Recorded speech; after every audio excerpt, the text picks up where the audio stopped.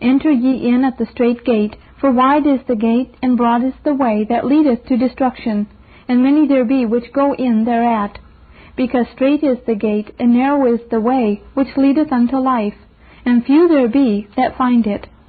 Matthew 7 verses 13 and 14. To the Reader. Courteous Reader, God, I hope, hath put it into my heart to write unto thee another time, and that about matters of the greatest moment. For now we discourse not about things controverted among the godly, but directly about the saving or damning of the soul. Yea, moreover, this discourse is about the fewness of them that shall be saved, and it proves that many a high professor will come short of eternal life. Wherefore the matter must needs be sharp, and so disliked by some, but let it not be rejected by thee. The text calls for sharpness, so do the times. Yea, the faithful discharge of my duty towards thee hath put me upon it. I do not now pipe, but mourn. It will be well for thee if thou canst graciously lament. Matthew 11, verse 17. Some, say they, make the gate of heaven too wide, and some make it too narrow. For my part, I have here presented thee with as true a measure of it, as by the word of God I can. Read me therefore, yea, read me and compare me with the Bible, and if thou findest my doctrine and that book of God concur, embrace it, as thou wilt answer the contrary in the day of judgment. This awakening work, if God will make it so, was prepared for thee. If there be need, and it wounds, get healing by blood. If it disquiets, get peace by blood. If it takes away all thou hast, because it was not, for this book is not prepared to take away true grace from any, then buy of Christ gold tried in the fire, that thou mayest be rich, and white raiment, that thou mayest be clothed, and that thy shame of thy nakedness doth not appear, and anoint thine eyes with eye salve, that thou mayest see. Revelation 3 verse 18. Self-flatteries, self-deceivings are easy and pleasant, but damnable. The Lord give thee an heart to judge right of thyself, right of this book, and so prepare for eternity, that thou mayest not only expect entrance, but be received into the kingdom of Christ and of God. Amen. So prays thy friend, John Bunyan. The Strait Gate, or Great Difficulty of Going to Heaven. Strive to enter in at the strait gate, for many, I say unto you, will seek to enter in, and shall not be able.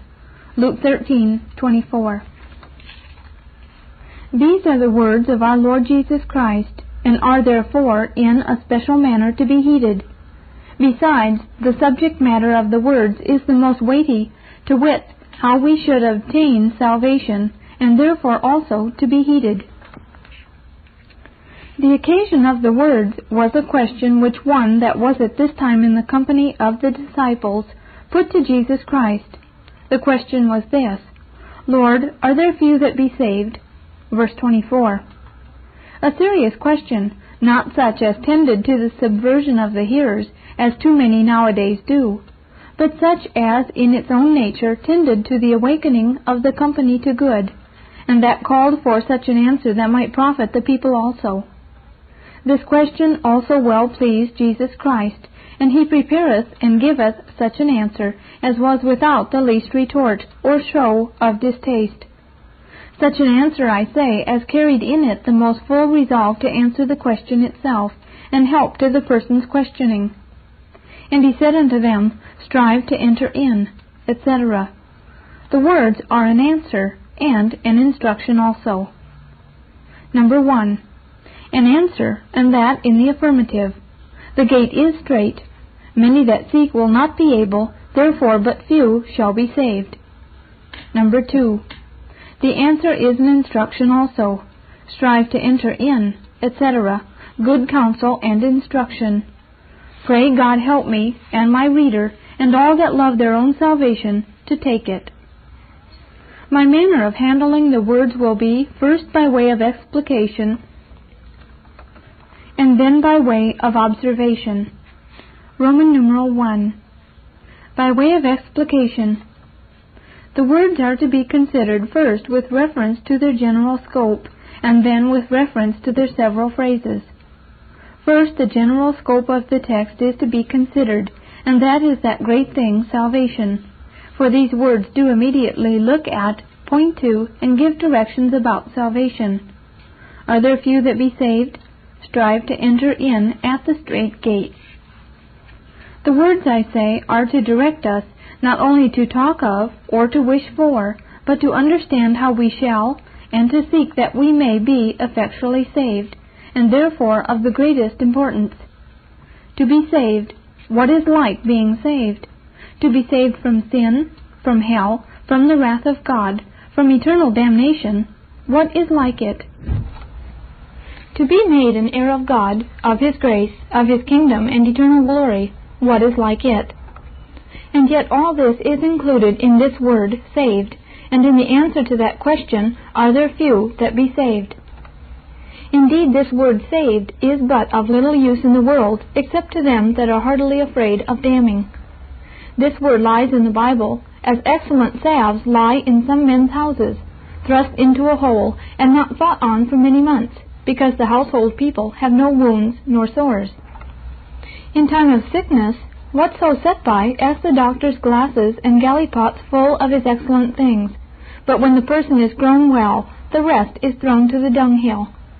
Oh, when men are sick of sin and afraid of damning, what a text is that, where this word saved is found. Yea, what a word of worth and goodness and blessedness is it to him that lies continually upon the wrath of a guilty conscience. But the whole need not the physician. He therefore, and he only, knows what saved means, that knows what hell and death and damnation means. What shall I do to be saved? is the language of the trembling sinner. Lord, save me is the language of the sinking sinner. And none admire the glory that is in that word saved, but such as see, without being saved, all things in heaven and earth are emptiness to them. They also that believe themselves privileged in all the blessedness that is wrapped up in that word, bless and admire God that hath saved them. Wherefore, since the thing intended, both in the question and the answer, is no less than the salvation of the soul, I beseech you to give the more earnest heed. Hebrews 21. But to come to the particular phrases in the words, and to handle them orderly in the words, I find four things. Number one, an intimation of the kingdom of heaven. Two, a description of the entrance into it. Three, an exhortation to enter into it and 4. A motive to enforce that exhortation. Number 1. An intimation of the kingdom of heaven. For when he saith, Strive to enter in, and in such phrases there is supposed a place or state, or both, to be enjoyed. Enter in? Enter into what, or whither, but into a state or place, or both. And therefore when you read this word, enter in, you must say there is certainly included in the text that good thing that yet is not expressed. Enter in, into heaven, that is the meaning, where the saved are and shall be. Into heaven, that place, that glorious place where God and Christ and angels are, and the souls or spirits of just men made perfect. Enter in. That thing included, though not expressed in the words, is called in another place the Mount Zion the heavenly Jerusalem, the general assembly and church of the firstborn which are written in heaven. Hebrews chapter 12. And therefore the words signify unto us that there is a state most glorious, and that when this world is ended, and that this place and state is likewise to be enjoyed and inherited by a generation of men forever. Besides, this word, enter in, signifieth that salvation to the full is to be enjoyed only there, and that there only is eternal safety. All other places and conditions are hazardous, dangerous, full of snares, imperfections, temptations, and afflictions. But there all is well. There is no devil to tempt, no desperately wicked heart to deliver us up, no deceitful lust to entangle, nor any enchanting world to bewitch us. There all shall be well to all eternity. Further, all the parts of and circumstances that attend salvation are only there to be enjoyed. There only is immortality and eternal life. There is the glory and fullness of joy and the everlasting pleasures. There is God and Christ to be enjoyed by open vision and more. There are the angels and the saints. Further, there is no death, nor sickness, nor sorrow, nor sighing forever. There is no pain, nor persecutor, nor darkness to eclipse our glory. Oh, this Mount Zion, oh, this heavenly Jerusalem. 2 Corinthians 5, verses 1 through 5. Psalm 16, verse 11. Luke 20, verses 35 and 36. And Hebrews 12, verses 12 through 14. Behold, therefore, what a great thing the Lord Jesus hath included by this little word, in. In this word is wrapped up and whole heaven and eternal life, even as there is also by other little words in the Holy Scriptures of truth, as where he saith, Knock, and it shall be opened unto you, and the elect have obtained it. This should teach us not only to read, but to attend in reading, not only to read, but to lift up our hearts to God in reading. For if we be not heedful, if he give us not light and understanding, we may easily pass over without any great regard such a word as may have a glorious kingdom and eternal salvation in the bowels of it. Yea, sometimes, as here, a whole heaven is intimated, where it is not at all expressed. The apostles of old did use to fetch great things out of the Scriptures, even out of the very order and timing of the several things contained therein. See Romans 4 verses 9 through 11, Galatians 3 16 and 17, and Hebrews 8 verse 18. But number two, as we have here an intimation of the kingdom of heaven, so we have a description of the entrance into it, and that by a double similitude. Number one, it is called a gate. Number two, a strait gate. Strive to enter in at the strait gate. First, it is set forth by the similitude of a gate. A gate, you know, is of double use. It is to open and shut, and so consequently to let in or keep out, and to do both these at the season, as he said, Let not the gates of Jerusalem be opened till the sun be hot. And again, I commanded that the gate should be shut and charged that they should not be opened till after the Sabbath. Nehemiah 7 verse 3 and chapter 13 verses 19 and 20. And so you find of this gate of heaven, when the five wise virgins came, the gate was opened, but afterwards came the other virgins, and the door was shut. Matthew 11. So then the entrance into heaven is called a gate, to show that there is a time when there may be entrance, and there will come a time when there shall be none. And indeed this is a chief truth contained in that text. Strive to enter in at the strait gate. For many, I say unto you, will seek to enter in and shall not be able. I read in the Scriptures of two gates or doors, through which they that go to heaven must enter. Number one, there is the door of faith, the door which the grace of God hath opened to the Gentiles. This door is Jesus Christ, as also himself doth testify, saying, I am the door and etc. Acts chapter 14, verse 27, and John 10, verse 9. By this door men enter into God's favor and mercy and find forgiveness through faith in His blood and live in hope of eternal life. And therefore Himself also said, I am the door. By me if any man enter in, he shall be saved. That is, receive to mercy and inherit eternal life. But, number two, there is another door or gate, for that which is called in the text a gate is twice in the next verse called a door. That is, I say, another gate, and that is the passage into the very heaven itself, the entrance into the celestial mansion house. And that is the gate mentioned in the text, and the door mentioned twice in the verse that follows. And thus Jacob called it when he said, Bethel was the house of God, and this is the gate of heaven. That is the entrance, for he saw the entrance into heaven. One end of Jacob's ladder stands in Bethel, God's house, and the other end reaches up to the gate of heaven. Genesis 28 verses 10 through 18. Jacob's ladder was the figure of Christ, which ladder was not the gate of heaven, but the way from the church to that gate which he saw above at the top of the ladder. Genesis 28 verse 12 and John chapter 1 verse 51. But again, that the gate in the text is the gate or entrance into heaven, consider, number one, it is that gate that letteth men into, or shutteth men out of that place or kingdom where Abraham and Isaac and Jacob is, which place is that paradise where Christ promised the thief that he should be that day, that he asked to be with him in his kingdom. It is that place into which Paul said he was caught when he heard words unlawful or impossible for a man to utter. Luke 13 verse 20, and chapter 23 verse 24, and 2 Corinthians 12 verses 1 through 6. Question. But is not Christ the gate or entrance into this heavenly place? Answer. He is he without whom no man can get thither, because by his merits men obtain that world, and also because he, as the Father, is the donor and disposer of that kingdom to whom he will. Further, this place is called his house, and himself the master of it. When once the master of the house is risen up, and has shut the door, verse 25.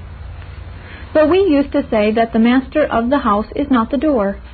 Men enter into heaven, then, by him, not as he is the gate or door or entrance into the celestial mansion house, but as he is the giver and disposer of that kingdom to them whom he shall count worthy, because he hath obtained it for them. Number two, that this gate is the very passage into heaven. Consider the text has special reference to the day of judgment, when Christ will have laid aside his mediatory office, which before he exercised for the bringing to the faith his own elect, and will then act not as one that justifieth the ungodly, but as one that judges sinners. He will now be risen up from the throne of grace and shut up the door against all the impenitent, and will be set upon the throne of judgment, from thence to proceed with ungodly sinners. Objection. But Christ bids strive. Strive now to enter in at the strait gate. But if that gate be, as you say, the gate or entrance into heaven, then it should seem that we should not strive till the day of judgment, for we shall not come at that gate till then. Answer.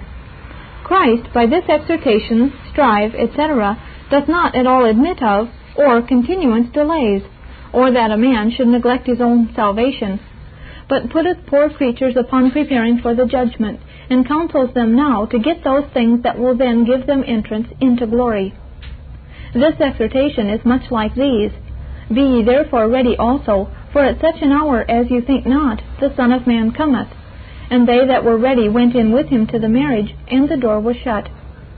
Matthew 24, 44, and 25, verse 10 so that when he saith, Strive to enter in, it is as much as if he should say, Blessed are they that shall be admitted another day to enter into the kingdom of heaven. But they that shall be accounted worthy of so unspeakable a favor must be well prepared and fitted for it beforehand. Now the time to be fitted is not the day of judgment, but the day of grace, not then, but now. Therefore strive now for those things that will then give you entrance into the heavenly kingdom.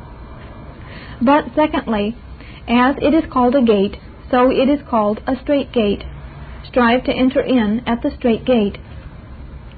The straitness of this gate is not to be understood carnally, but mystically.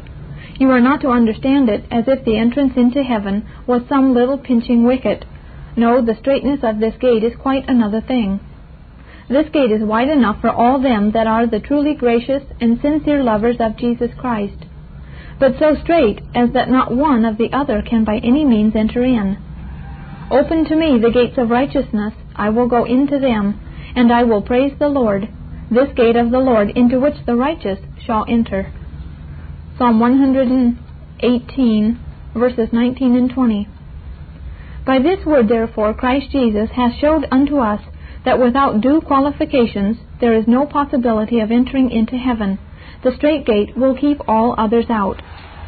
When Christ spake this parable, he had doubtless his eye upon some passage or passages of the Old Testament with which the Jews were well acquainted. I will mention two, and so go on. Number one, the place by which God turned Adam and his wife out of paradise. Possibly our Lord might have his eye upon that, for though that was wide enough for them to come out at, yet it was too strait for them to go in at. But what should the reason of that be? Why, they had sinned, and therefore God set at the east of that garden cherubims and a flaming sword, turning every way to keep the way of the tree of life. Genesis 3:24. The cherubims and this flaming sword, they made the entrance too strait for them to enter in. Souls, there are cherubims and a flaming sword at the gates of heaven to keep the way of the tree of life. Therefore none but them that are duly fitted for heaven can enter in at this strait gate. The flaming sword will keep all others out. Know you not that the unrighteous shall not inherit the kingdom of God? Be not deceived, neither fornicators, nor idolaters, nor adulterers, nor effeminate, nor abusers of themselves with mankind, nor thieves, nor covetous, nor drunkards, nor revilers, nor extortioners shall inherit the kingdom of God. 1 Corinthians 6, verse 9. Number 2. Perhaps our Lord might have his eye upon the gates of the temple when he spoke this word unto the people. For though the gates of the temple were six cubits wide, yet they were so strait that none that were unclean in anything might enter in thereat. Ezekiel 40, verse 48. Because there were placed at them gates porters, whose office was to look that none but those that had right to enter might go in thither. And so it is written, Jehoiada set porters at the gates of the house of the Lord, that none that were unclean in anything might enter in. 2 Chronicles 23, verse 19. Souls, God hath porters at the gates of the temple, at the gate of heaven. Porters, I say, placed there by God, to look that none that are unclean in anything may come in thither. In at the gate of the church none may enter now that are open, profane, and scandalous to religion no, though they plead, they are beloved of God. What hath my beloved to do in mine house, saith the Lord, seeing she hath wrought lewdness with many? Jeremiah 11, verse 15. I say I am very apt to believe that our Lord Jesus Christ had his thoughts upon these two texts when he said, The gate is strait. And that which confirms me the more in this thing is this, a little below the text he saith, There shall be weeping and gnashing of teeth, when you shall see Abraham and Isaac and Jacob and all the prophets in the kingdom of heaven, and you yourselves thrust out. Verse 28. Thrust out, which signifies a violent act, resisting with striving those that would, though unqualified, enter. The porters of the temple were for this very thing to wear arms, if need were, and to be men of courage and strength, lest the unsanctified or unprepared should by some means enter in. We read in the book of Revelations of the holy city, and that it had twelve gates, and at the gates twelve angels. But what did they do there? Why, amongst the rest of their service, this was one thing, that there might in no wise enter in anything that defileth, or worketh abomination, and that maketh a lie. Revelation 21 verses 12 and 21 but more particularly to show what it is that maketh this gate so strait, there are three things that maketh it strait. Number one, there is sin. Number two, there is the word of the law. Number three, there are the angels of God. First, there is sin, the sin of the profane and the sin of the professor. Number one, the sin of the profane. But this needs not be enlarged upon, because it is concluded upon at all hands, where there is the common belief of the being of God and the judgment to come, that the wicked shall be turned into hell, and all the nations that forget God. Psalm 9, verse 17. Number 2. But there is the sin of professors, or take it rather thus, there is a profession that will stand with an unsanctified heart and life. The sin of such will overpoise the salvation of their souls, the sin end being the heaviest end of the scale. I say that being the heaviest end which hath sin in it, they tilt over, and so are, notwithstanding their glorious profession, drowned in perdition and destruction. For none such hath any inheritance in the kingdom of Christ and of God. Therefore let no man deceive you with vain words, for because of these things comes the wrath of God upon the children of disobedience neither will a profession be able to excuse them. Ephesians 5 verses 3 through 6. The gate will be too strait for such as these to enter in thereat. A man may partake of salvation in part, but not of salvation in whole. God saved the children of Israel out of Egypt, but overthrew them in the wilderness. I will therefore put you in remembrance, though you once knew this, how that the Lord, having saved the people out of the land of Egypt, afterwards destroyed them that believed not. So we see that notwithstanding their beginning, they could not enter in because of unbelief. Jude 5 and Hebrews 3 verse 19. Secondly, there is the word of the law, and that will make the gate strait also. None must go in thereat, but those that can go in by the leave of the law. For though no man be, or can be, justified by the works of the law, Yet unless the righteousness and holiness by which they attempt to enter into this kingdom be justified by the law, it is in vain once to think of entering in at this strait gate. Now the law justifieth not, but upon the account of Christ's righteousness. If therefore thou be not indeed found in that righteousness, thou wilt find the law lie just in the passage into heaven to keep thee out. Every man's work must be tried by fire, that it may be manifest of what sort it is. There are two errors in the world about the law. One is when men think to enter in at the strait gate by the righteousness of the law. The other is when men think they may enter into heaven without the leave of the law. Both these, I say, are errors. For as by the works of the law no flesh shall be justified, so without the consent of the law no flesh shall be saved. Heaven and earth shall pass away before one jot or tittle of the law shall fail, till all be fulfilled. He therefore must be damned that cannot be saved by the consent of the law. And indeed this law is the flaming sword that turneth every way, yea, that lieth to this day in the way to heaven, for a bar to all unbelievers and unsanctified professors. For it is taken out of the way for the truly gracious only. It will be found as a roaring lion to devour all others because of the law. Therefore, the gate will be found too strait for the unsanctified to enter in. When the apostle had told the Corinthians that the unrighteous should not inherit the kingdom of God, and that such were some of them, he adds, But ye are washed, but ye are sanctified, but ye are justified in the name of the Lord Jesus, and by the Spirit of our God. 1 Corinthians 6, verses 9 through 11. Closely concluding, that had they not been washed and sanctified and justified in the name of the Lord Jesus, the law, for their transgressions, would have kept them out. It would have made the gate too strait for them to enter in. Thirdly, there are also the angels of God, and by reason of them the gate is strait. The Lord Jesus calleth the end of the world his harvest, and saith, moreover, that the angels are his reapers. These angels are therefore to gather his wheat into his barn, but to gather the ungodly into bundles to burn them. Matthew 13, verses 39, 41, and 49. Unless therefore the man that is unsanctified can master the law and conquer angels, unless he can, as I may say, pull them out of the gateway of heaven, himself is not to come thither forever.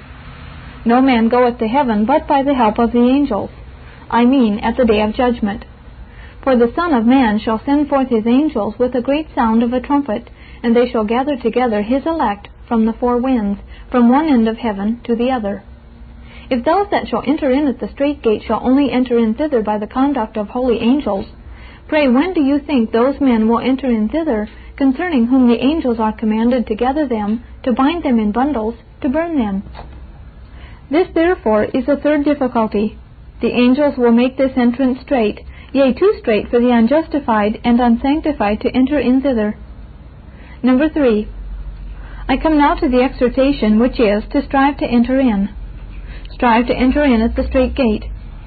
These words are fitly added, for since the gate is strait, it follows that they who will enter in must strive. Strive. This word strive supposes, number one, that great idleness is natural to professors. They think to get to heaven by lying, as it were, on their elbows. Number two, it also suggests that many will be the difficulties that professors will meet with before they get to heaven. Number three, it also concludes that only the laboring Christian, man or woman, will get in thither. Strive, etc. Three questions I will propound upon the word, an answer to which may give us light into the meaning of it. Number one, what does the word strive import? How should we strive? And three, why should we strive? Number one, what doth this word strive import? Answer. When he saith strive, it is as much to say, bend yourselves to the work with all your might. Whatsoever thy hand findeth to do, do it with all thy might, for there is no work, nor device, nor knowledge, nor wisdom in the grave, whither thou goest. Ecclesiastes 9:10. Thus Samson did when he set himself to destroy the Philistines. He bowed himself with all his might. Judges 16 verse 30. Thus David did also when he made provision for the building and beautifying of the temple of God. 1 Chronicles 29 verse 2. And thus must thou do, if ever thou enterest into heaven. Secondly, when he saith strive, he calleth for the mind and will that they should be on his side and on the side of the things of his kingdom. For none strive indeed, but such as have given the Son of God their heart, of which their mind and will are a principal part. For saving conversion lieth more in the turning of the mind and will to Christ, and to the love of his heavenly things, than in all knowledge and judgment. And this the Apostle confirms when he saith, Stand fast in one spirit and one mind, striving, etc. Philippians 1:27. Number 3. And more particularly, this word strive is expressed by several other terms. As number 1, it is expressed by that word, so run that you may obtain. 1 Corinthians 9 verses 24 and 25. Number 2, it is expressed by that word, fight the good fight of faith, lay hold of eternal life. 1 Timothy 6 verse 12. Number 3, it is expressed by that word, labor not for the meat that perishes, but for that meat that endureth to everlasting life. John 6:27. Number 4. It is expressed by that word, we wrestle with principalities and powers and the rulers of the darkness of this world. Ephesians 6 verse 12. Therefore when he saith, strive, it is as much as to say, run for heaven, fight for heaven, labor for heaven, wrestle for heaven, or you are like to go without it. The second question is, how should we strive? Answer. The answer in general is, thou must strive lawfully. And if a man also strive for the mastery, yet is he not crowned, except he strive lawfully. 2 Timothy 6. But will you say, what is it to strive lawfully? Answer. Number one, to strive against the things which are abhorred by the Lord Jesus, yea, to resist to the spilling of your blood, striving against sin. Hebrews 12, verse 4. To have all those things that are condemned by the word, yea, though they be thine own right hand, right eye, or right foot, in abomination, and to seek by all godly means the utter suppressing of them. Mark 9, verses 43, 45, and 47. Number 2. To strive lawfully is to strive for those things that are commanded in the Word. But thou, O man of God, fly the world and follow after, that is, strive for, righteousness, godliness, faith, love, patience, meekness, fight the good fight of faith, lay hold on eternal life, etc. 1 Timothy 6 verses 11 and 12. Number 3. He that striveth lawfully must be therefore very temperate in all the good and lawful things of this life. And every one that striveth for the mastery is temperate in all things.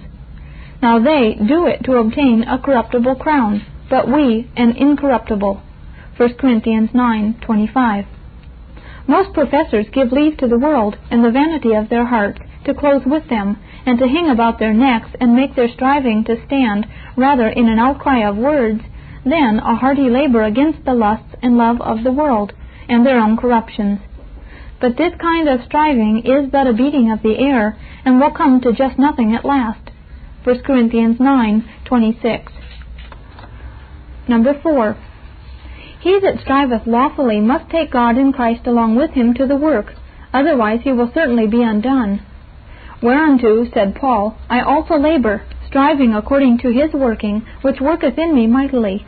Colossians 1.29 And for the right performing of this, he must observe these following particulars.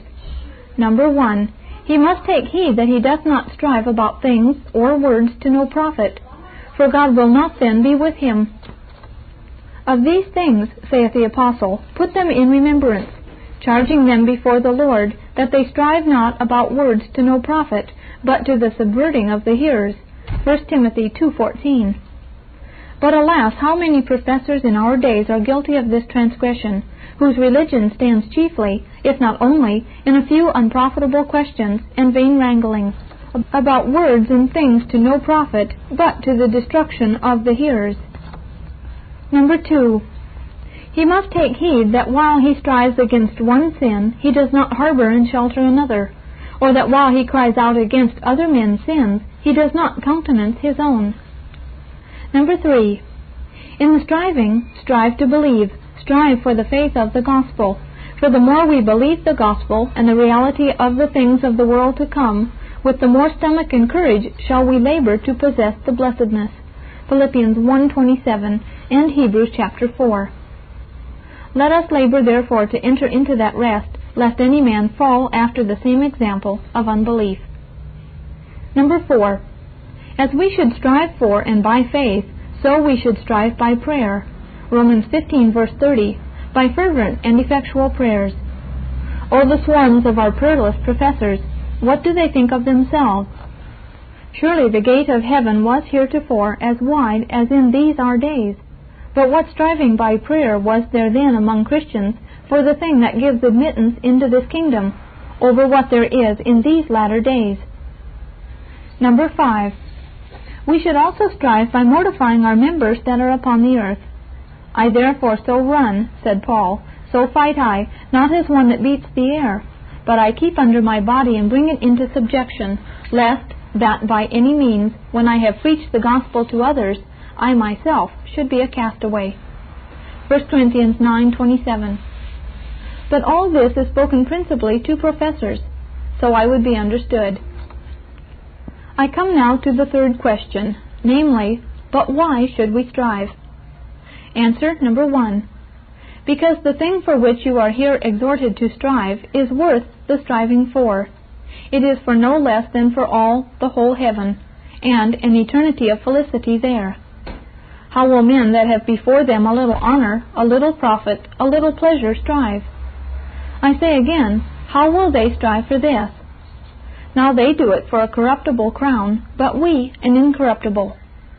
Methinks this word heaven and this eternal life ought verily to make us strive, for what is there again either in heaven or earth like them to provoke a man to strive? Number two, strive because otherwise the devil and hell will assuredly have thee. He goes about like a roaring lion, seeking whom he may devour. 1 Peter 5, verse 8. These fallen angels, they are always watchful, diligent, unwearied. They are also mighty, subtle, and malicious, seeking nothing more than the damnation of thy soul. O thou that art like the heartless dove, strive. Number three, strive because every lust strives and wars against thy soul. The flesh lusts against the spirit. Dearly beloved, I beseech you, said Peter, as strangers and pilgrims, abstain from fleshly lusts, which war against the soul. Galatians 5, verse 17. It is a rare thing to see or find out a Christian that indeed can bridle his lusts, but no strange thing to see such professors that are not only bridled, but saddled too, yea, and ridden from lust to sin, from one vanity to another, by the very devil himself and the corruptions of their hearts. Number four, strive because thou hast a whole world against thee. The world hateth thee if thou be a Christian, the men of the world hate thee, the things of the world are snares for thee, even thy bed and table, thy wife and husband, yea, the most lawful enjoyments, have that in them that will certainly sink thy soul to hell, if thou dost not strive against the snares that are in them. Romans 11, verse 9. The world will seek to keep thee out of heaven with mocks, flaunts, taunts, threatenings, gowls, gibbets, halters, burnings, and a thousand deaths. Therefore, strive. Again, if it cannot overcome thee with these, it will flatter, promise, allure, entice, entreat, and use a thousand tricks on this hand to destroy thee. And observe, many that have been stout against the threats of the world have yet been overcome with the bewitching flatteries of the same. There ever was enmity between the devil and the church, and betwixt his seed and her seed too. Michael and his angels, and the dragon and his angels, these make war continually. Genesis 3 and Revelation chapter 12. There have been great desires and endeavors among men to reconcile these two in one, to wit, the seed of the serpent and the seed of the woman, but it could never yet be accomplished. The world says they will never come over to us, and we again say, by God's grace, we will never come over to them. But the business hath not ended in words, both they and we have also added our endeavors to make each other submit, but endeavors have proved ineffectual too. They, for their part, have devised all manner of cruel torments to make us submit, as slaying with the sword, stoning, sawing asunder, flames, wild beasts, banishments, hunger, and a thousand miseries. We again, on the other side, have labored by prayers and tears, by patience and long suffering, by gentleness and love, by sound doctrine and faithful witness bearing against their enormities, to bring them over to us. But yet the enmity remains, so that they must conquer us, or we must conquer them. One side must be overcome, but the weapons of our warfare are not carnal, but mighty through God. One side must be overcome, but the weapons of our warfare are not carnal, but mighty through God. Number five. Strive, because there is nothing of Christianity got by idleness. Idleness clothes a man with rags, and the vineyard of the slothful is grown over with nettles. Proverbs 23, 21, and 24, verses 30 through 32. Profession that is not attended with spiritual labor cannot bring the soul to heaven. The fathers before us were not slothful in business, but fervent in spirit, serving the Lord. Therefore be not slothful, but followers of them who through faith and patience inherit the promises. Romans 12:11 and Hebrews 6 verse 12. Strive to enter in. Methinks the words at the first reading do intimate to us that the Christian, in all that he ever does in this world, should carefully heed and regard his soul.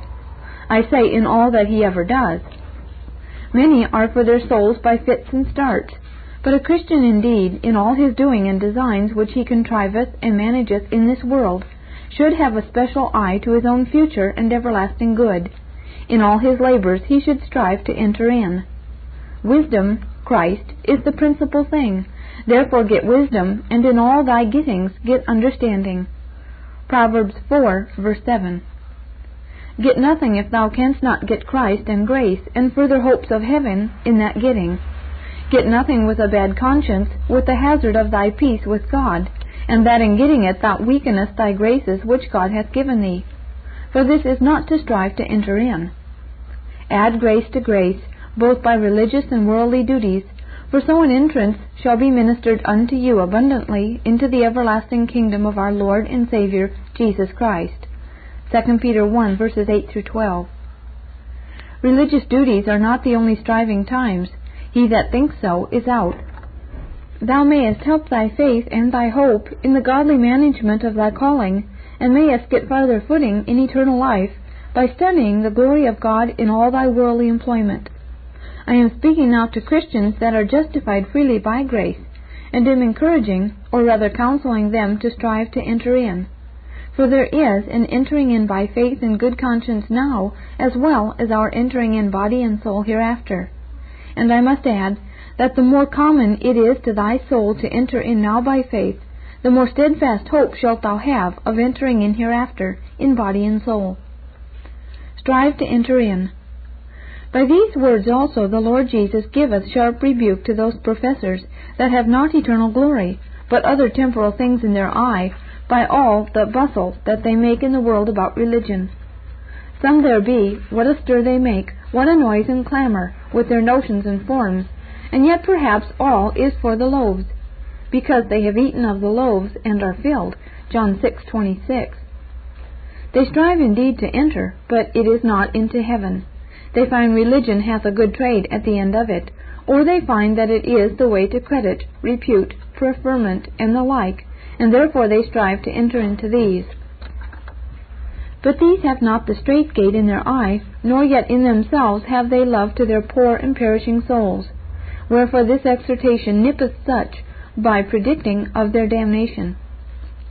Strive to enter in, these words also sharply rebuke them who content themselves as the angel of the church of Sardis did, to wit, they have a name to live and be dead.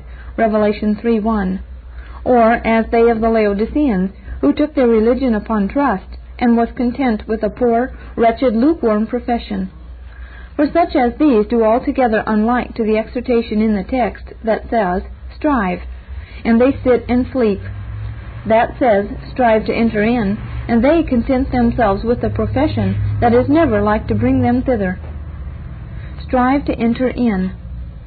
Further, these words put upon us proving the truth of our graces now. I say they put us upon the proof of the truth of them now, for if the strait gate be the gate to heaven, and yet we are to strive to enter into it now, even while we live, and before we come thither, then doubtless Christ means by this exhortation that we should use all lawful means to prove our graces in this world, whether they will stand in the judgment or no. Strive to enter in. Get those graces now that will prove true graces then, and therefore try them you have, and if upon trial they prove not right, cast them away, and cry for better, lest they cast thee away, when better are not to be had. Buy of me gold tried in the fire. Mark that, Revelation 3:18. Buy of me faith and grace that will stand in the judgment. Strive for that faith. Buy of me that grace, and also white raiment, that thou mayest be clothed, that the shame of thy wickedness doth not appear, and anoint thine eyes with eye salve, that thou mayest see. Mind you this advice, this is right striving to enter in. But you will say, How should we try our graces? Would you have us run into temptation to try if they be sound or rotten? Answer. You need not run into trials. God hath ordained that enough of them shall overtake thee to prove thy graces, either rotten or sound, before the day of thy death. Sufficient to the day is the evil thereof, if thou hast but a sufficiency of grace to withstand. I say thou shalt have trials enough overtake thee, to prove thy graces sound or rotten. Thou mayest therefore, if God shall help thee, see how it is like to go with thee before thou goest out of this world, to wit, whether thy graces be such as will carry thee in at the gates of heaven, or no. But how should we try our graces now? Answer. How dost thou find them in outward trials? See Hebrews 11 verses 15 and 16. How dost thou find thyself in the inward workings of sin? Romans 7:24. How dost thou find thyself under the most high enjoyment of grace in this world? Philippians 3:14. But what do you mean by these three questions? Answer: I mean graces show themselves at these their seasons, whether they be rotten or sound. How do they show themselves to be true under the first of these? Answer: By mistrusting our own sufficiency, by crying to God for help, by desiring rather to die than to bring any dishonor to the name of God, and by counting that if God be honored in the trial, thou hast gained more than all the world could give thee. 2 Chronicles 20 verse 12, and chapter 14 verse 11, Acts 4, and chapter 20 verse 22, 2 Corinthians 4 verses 17 and 18, and Hebrews 11 verses 24 and 25. Question. How do they show themselves to be true under the second? Answer. By mourning and confessing and striving and praying against them. By not being content shouldst thou have heaven if they live and defile thee, and by counting of holiness the greatest beauty in the world, and by flying to Jesus Christ for life. Zechariah 12:10, John 19, Hebrews 12 verse 4, and Psalm 19 verse 12. Question. How do they show themselves to be true under the third? Answer. By prizing the true graces above all the world, by praying heartily that God will give thee more, by not being content with all the grace thou canst be capable of enjoying on this side of heaven and glory. Psalm 84, verse 10, Luke 17, verse 5, and Philippians chapter 3. Strive to enter in. The reason why Christ addeth these words to enter in is obvious, to wit, because there is no true and lasting happiness on this side of heaven. I say none that is both true and lasting. I mean as to our sense and feeling, as there shall. For here have we no continuing city, but we seek one to come. Hebrews 13, verse 14. The heaven is within. Strive therefore to enter in. The glory is within. Strive therefore to enter in. The Mount Zion is within. Strive therefore to enter in. The heavenly Jerusalem is within. Strive therefore to enter in. Angels and saints are within. Strive therefore to enter in. And to make up all, the God and Father of our Lord Jesus Christ and that glorious Redeemer is within. Strive therefore to enter in. Strive to enter in. For without are dogs, sorcerers, and whoremongers, and murderers, and idolaters, and whosoever loveth and maketh a lie. Without are also the devils, and hell, and death, and all damned souls. Without is howling, weeping, wailing, and gnashing of teeth. Yea, without are all the miseries, sorrows, and plagues that an infinite God can in justice and power inflict upon an evil and wicked generation. Strive therefore to enter in at the strait gate. Revelation 22 verse 15, Matthew 25 verse 41, Revelation 12 verse 9,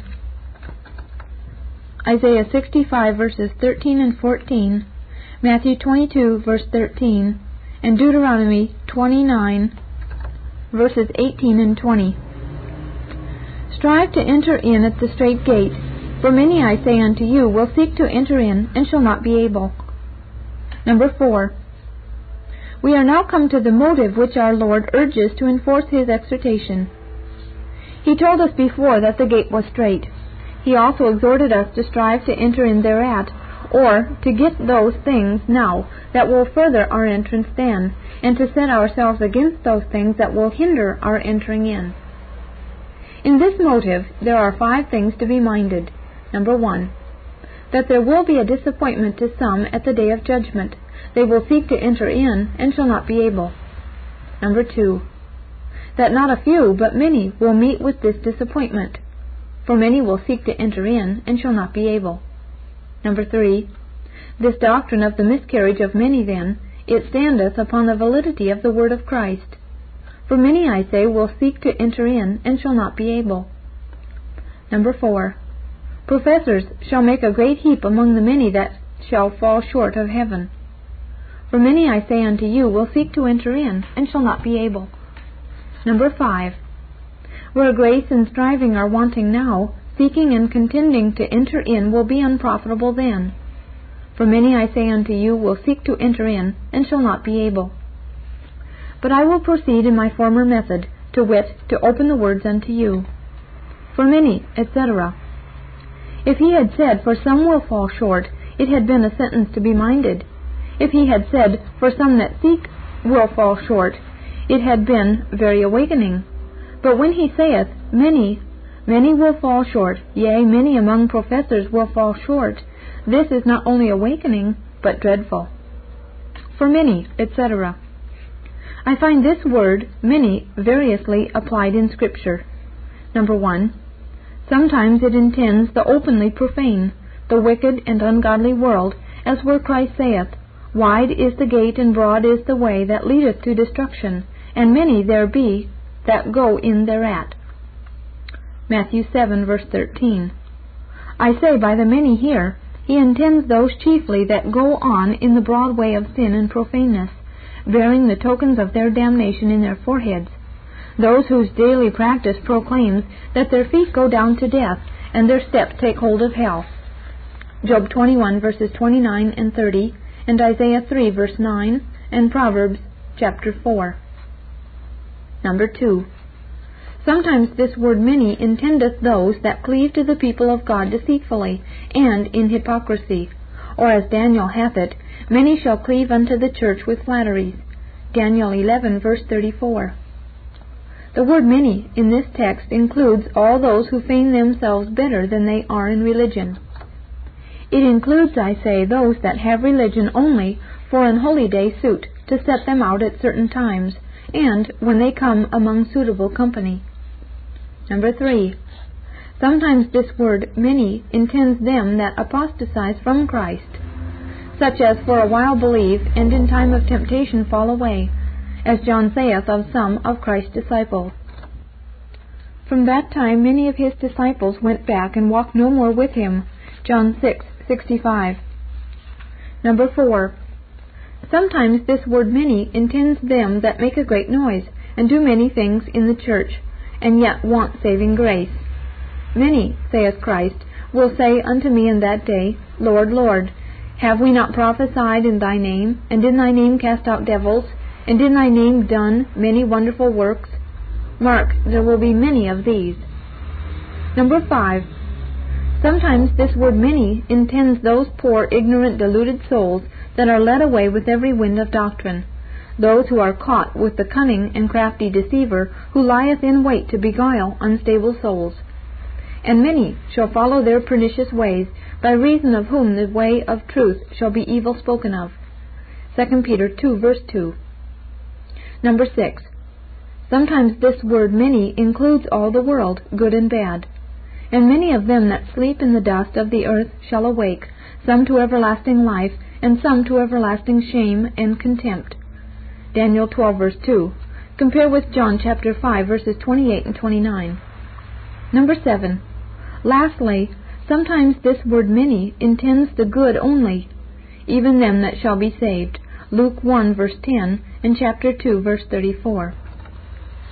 Since the word is so variously applied, let us inquire how it must be taken in the text. And, number 1. It must not be applied to the sincerely godly, for they shall never perish. John 10, verses 27 and 28. Number 2. It cannot be applied to all the world, for then no flesh should be saved. Number 3. Neither is it to be applied to the open profane only, for then the hypocrite is by it excluded. Number 4. But by the word many in the text our Lord intends in special the professor. The professor, I say, how high soever he seems to be now, that shall be found without saving grace in the day of judgment. Now that the professor is in special intended in this text, consider, so soon as the Lord had said, Many will seek to enter in, and shall not be able. He points, as with his finger, at the many that then he in special intends, to wit, them among whom he had taught, them that had eaten and drunken in his presence, them that had prophesied and cast out devils in his name, and in his name had done many wonderful works. Luke chapter 23, verse 26, and Matthew 7, verse 27. These are the many intended by the Lord in this text, though others also are included under the sentence of damnation by his word in other places. For many, etc., Matthew saith, concerning this strait gate, that there are but few that find it. But it seems the castaways in my text did find it, for you read that they knocked at it and cried, Lord, open unto us. So then the meaning may seem to be this Many of the few that find it will seek to enter in, and shall not be able. I find at the day of judgment some will be crying to the rocks to cover them, and some at the gates of heaven for entrance. Suppose that those that cry to the rocks to cover them are they whose conscience will not suffer them once to look God in the face, because they are fallen under present guilt and the dreadful fears of the wrath of the Lamb. Revelation 6 verse 16 and that those that stand crying at the gate of heaven are those whose confidence holds out to the last, even those whose boldness will enable them to contend even with Jesus Christ for entrance. Them I say that will have profession, casting out of devils, and many wonderful works to plead. Of this sort are the many in my text. For many, I say unto you, will seek to enter in, and shall not be able. For many, etc. Could we compare the professors of the times with the everlasting Word of God, this doctrine would more easily appear to the children of men. How few among the many, yea, among the swarms of professors, have heart to make conscience of walking before God in this world, and to study His glory among the children of men. How few, I say, have His name lie nearer their hearts than their own carnal concerns. Nay, do not many make His word, and His name, and His ways, a stalking horse to their own worldly advantages. God calls for faith, good conscience, moderation, self denial, humility, heavenly mindedness, love to saints, to enemies, and for conformity in heart, in word, and life to his will. But where is it? Mark chapter 11, verse 22, 1 Peter 3, 16, Hebrews 13, verse 5, Philippians 4, verse 5, Matthew 10, verses 37 through 39, Colossians 3 verses 1 through 4, Micah 6 verse 8, Revelation 2:10, John 15 verse 17, 1 John 4 verse 21, Matthew 5:44, Proverbs 23 verse 26, and Colossians 4 verse 6. For many I say unto you, these latter words carry in them a double argument to prove the truth asserted before. First, in that he directly pointeth at his followers, I say unto you. Many I say unto you, even to you that are my disciples, to you that have eaten and drank in my presence. I know that sometimes Christ hath directed his speech to his disciples, not so much upon their accounts, as upon the accounts of others. But here it is not so. The I say unto you in this place shows it immediately concerned some of themselves. I say unto you, ye shall begin to stand without and to knock, saying, Lord, Lord, open to us. And he shall answer and say unto you, I know you not whence you are. Then shall ye begin to say, We have eat and drank in thy presence, and thou hast taught in our streets. But he shall say, I tell you, I know you not whence you are. Depart from me, all ye workers of iniquity. It is you, you, you that I mean. I say unto you, it is common with the professing people when they hear a smart and thundering sermon to say, Now has the preacher paid off the drunkard, the swearer, the lion, the covetous, and adulterer, forgetting that these sins may be committed in a spiritual and mystical way. There is a spiritual drunkenness, spiritual adultery, and a man may be a liar that calls God his Father when he is not, or that calls himself a Christian and is not. Wherefore perhaps all these thunderings and lightnings in this terrible sermon may more concern thee than thou art aware of. I say unto you, unto you, professors, may be the application of all this thunder. Revelation 2 9 and chapter 3 verse 9. I say unto you. Had not the Lord Jesus designed by these words to show what an overthrow will one day be made among professors, he needed not have applied it at this rate, as in the text, and afterwards he has done. The sentence had run intelligible enough without it. I say, without his saying, I say unto you. But the truth is, the professor is in danger. The preacher and the hearer, the workers of miracles and workers of wonders, may be all in danger of damning and notwithstanding all their attainments. And to awaken us all about this truth, therefore, the text must run thus. For many, I say unto you, shall seek to enter in, and shall not be able. See you not yet that the professor is in danger, and that those words, I say unto you, are a prophecy of the everlasting perdition of some that are famous in the congregation of saints? I say, if you do not see it, pray God your eyes may be opened, and beware that thy portion be not as the portion of one of those that are wrapped up in the twenty eighth verse of the chapter. There shall be weeping and gnashing of teeth, when ye shall see Abraham and Isaac and Jacob and all the prophets in the kingdom of heaven, and you yourselves thrust out. For many I say unto you, these words I told you carry in them a double argument for confirmation of the truth asserted before. First, that professors are here particularly pointed at, and secondly, it is the saying of the truth himself, for these words I say are words full of authority. I say it, I say unto you, says Christ, as he saith in another place, It is I that speak. Behold, it is I. The person whose words we have now under consideration was no blundering, raw-headed preacher, but the very wisdom of God, his Son, and him that hath lain in his bosom from everlasting, and consequently had the most perfect knowledge of his Father's will, and how it would fare with professors at the end of this world. And now hearken what himself doth say of the words which he hath spoken. Heaven and earth shall pass away, but my word shall not pass away. Matthew 24, verse 35. I say unto you. The prophet used not to speak after this manner, nor yet the holy apostles, for thus to speak is to press things to be received upon their own authority. They used to say, Thus saith the Lord, or Paul, or Peter, an apostle, or a servant of God. But now we are dealing with the words of the Son of God. It is he that hath said it. Wherefore we find the truth of the perishing of many professors asserted and confirmed by Christ's own mouth. This consideration carrieth great awakening in it, but into such a fast sleep are many nowadays fallen, that nothing will awaken them but that shrill and terrible cry, Behold, the bridegroom comes, come ye out to meet him. I say unto you. There are two things upon which this assertion may be grounded.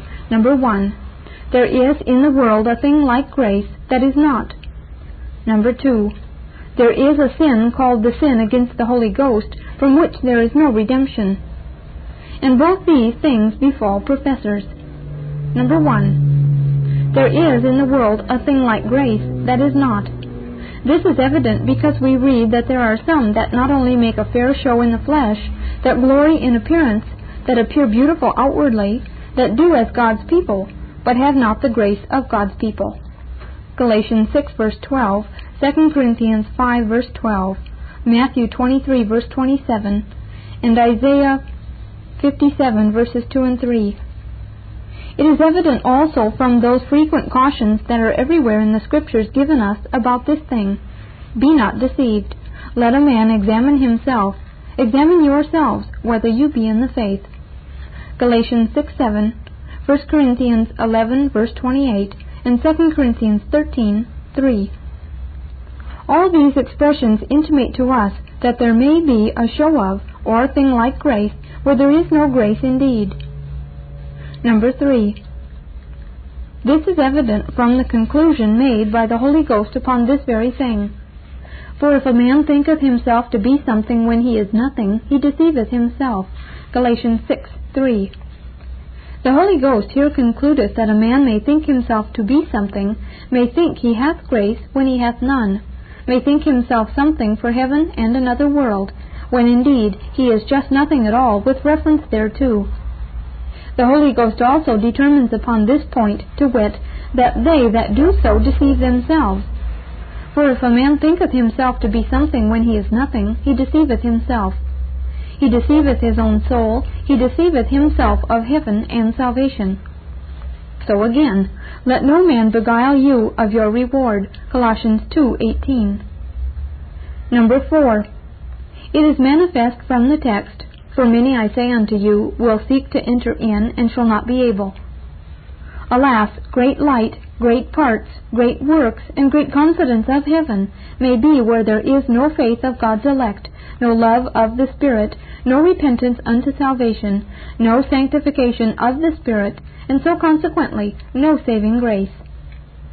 But secondly, as there is a thing like grace which is not, so there is a sin called the sin against the Holy Ghost, from which there is no redemption, and this sin doth more than ordinarily befall professors.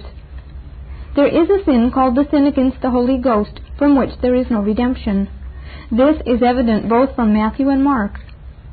But whosoever speaketh against the Holy Ghost, it shall not be forgiven him, neither in this world, nor in the world to come. But he that shall blaspheme against the Holy Ghost hath never forgiveness, but is in danger of eternal damnation. Matthew 12:32 and Mark 3 verse 29.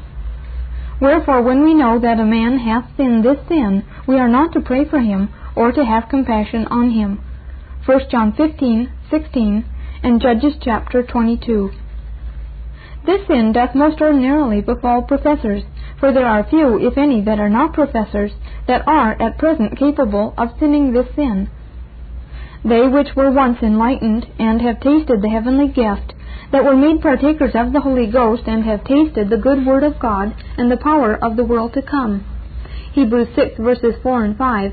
Of this sort are they that commit this sin. Peter also describes them to be such that sin the unpardonable sin. For if after they have escaped the pollution of the world through the knowledge of our Lord and Savior Jesus Christ, they are again entangled therein and overcome, the latter end is worse with them than the beginning. 2 Peter 2 verse 2. The other passage in the tenth of the Hebrews holdeth forth the same thing. For if we sin wilfully after we have received the knowledge of the truth, there remaineth no more sacrifice for sin, but a certain fearful looking for of judgment and fiery indignation that shall devour the adversaries. Hebrews 10 verses 26 and 27. These therefore are the persons that are the prey for this sin. The sin feedeth upon professors, and they that are such do very often fall into the mouth of this eater. Some fall into the mouth of this sin by delusions and doctrines of devils, and some fall into the mouth of it by returning with the dog to his own vomit again, and with the sow that was washed to her wallowing in the mire. 1 Peter 2.22 I shall not here give you a particular description of this sin, that I have done elsewhere.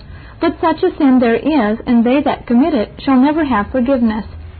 And I say again, there be professors that commit this unpardonable sin, yea, more than most are aware of. Let all therefore look about them. The Lord awaken them that they may so do. For what with the profession without grace, and by the venom of the sin against the Holy Ghost, many will seek to enter in, and shall not be able, will seek to enter in. This kingdom, at the gate of which the reprobate will be stopped, will be at the last judgment the desire of all the world. And they, especially they in my text, will seek to enter in. For then they will see that the blessedness is to those that shall get into this kingdom, according to that which is written, Blessed are they that do his commandments, that they may have right to the tree of life, and may enter in through the gates of the city. Revelation 21 verse 14. To prove that they will seek, although I have done it already, yet read these texts at your leisure. Matthew 25 verse 11, and chapter 7 verse 22, and Luke chapter 13 verse 28. And, in a word, to give you the reason why they will seek to enter in. Number one, now they will see what a kingdom it is, what glory there is in it, and now they shall also see the blessedness which they shall have that shall then be counted worthy to enter in. The reason why this kingdom is so little regarded, it is because it is not seen. The glory of it is hid from the eyes of the world. Their eye hath not seen, nor their ear heard, etc. Ay, but then they shall hear and see too, and when this comes to pass, then, even then, he that now most seldom thinks thereof will seek to enter in. Number two, they will now see what hell is and what damnation in hell is more clear than ever. They will also see how the breath of the Lord, like a stream of brimstone, doth kindle it. Oh, the sight of that burning fiery furnace which is prepared for the devil and his angels. This, this will make work in the souls of castaways at that day of God Almighty, and then they will seek to enter in. Number three, now they will see what the meaning of such words as these are, as hellfire, everlasting fire, devouring fire, fire that shall never be quenched. Now they will see what forever means, what eternity means. Now they will see what this word means, the bottomless pit. Now they will hear roaring of sinners in this place, howling in that, some crying to the mountains to fall upon them, and others to the rocks to cover them. Now they will see blessedness is nowhere, but within. Number four. Now they will see what glory the godly are possessed with, how they rest in Abraham's bosom, how they enjoy eternal glory, how they walk in their white robes and are equal to the angels. Oh, the favor and blessedness and unspeakable happiness that now God's people shall have. And this shall be seen by them that are shut out, by them that God hath rejected forever. And this will make them seek to enter in. Luke chapter 16 verses 22 and 23 and chapter 13 28 will seek to enter in. Question. But some may say, how will they seek to enter in? Answer. Number one. They will put on all the confidence they can. They will trick and trim up their profession and adorn it with what bravery they can. Thus the foolish virgins sought to enter in. They did trim up their lamps, made themselves as fine as they could. They made shift to make their lamps to shine a while, but the Son of God, discovering himself, their confidence failed, their lamps went out, the door was shut upon them, and they were kept out. Number two. They will seek to enter in by crowding themselves in among the godly. Thus the man without the wedding garment sought to enter in. He goes to the wedding, gets into the wedding chamber, sits close among the guests, and then without doubt concluded he should escape damnation. But you know one black sheep is soon seen, though it be among a hundred white ones. Why, even thus it fared with this poor man. And when the king came in to see the guests, he saw there a man that had not on a wedding garment. He spied him presently, and before one word was spoken to any of the others, he had this dreadful salutation Friend, how camest thou in hither, not having on a wedding garment? May acknowledge his sins also. Matthew chapter 27 verse 4. Number 2. In saving repentance there is a crying out under sin, but one that hath the other repentance may cry out under sin also. Genesis 4 verse 13. Number three, in saving repentance there will be a humiliation for sin, and one that hath the other repentance may humble himself also. 1 Kings 21 verse 29. Number four, saving repentance is attended with self-loathing, but he that hath the other repentance may have loathing of sin too. 2 Peter chapter 2 verse 22. A loathing of sin because it is sin, that he cannot have, but a loathing of sin because it is offensive to him, that he may have. The dog doth not loathe that which troubleth his stomach, because it is there, but because it troubleth him. When it has done troubling him, he can turn to it again and lick it up as before it troubled him. Number five. Saving repentance is attended with prayers and tears, but he that hath none but the other repentance may have prayers and tears also. Genesis chapter 27 verses 34 and 35, and Hebrews 12 verses 14 through 16. Number 6. In saving repentance there is fear and reverence of the word and ministers that bring it, but this may be also where there is none but the repentance that is not saving. For Herod feared John, knowing that he was a just man, and holy, and observed him, when he heard him, he did many things and heard him gladly. Mark chapter 6, verse 20. Number 7. Saving repentance makes a man's heart very tender of doing anything against the word of God. But Balaam could say, If Balak would give me his house full of silver and gold, I cannot go beyond the word of the Lord.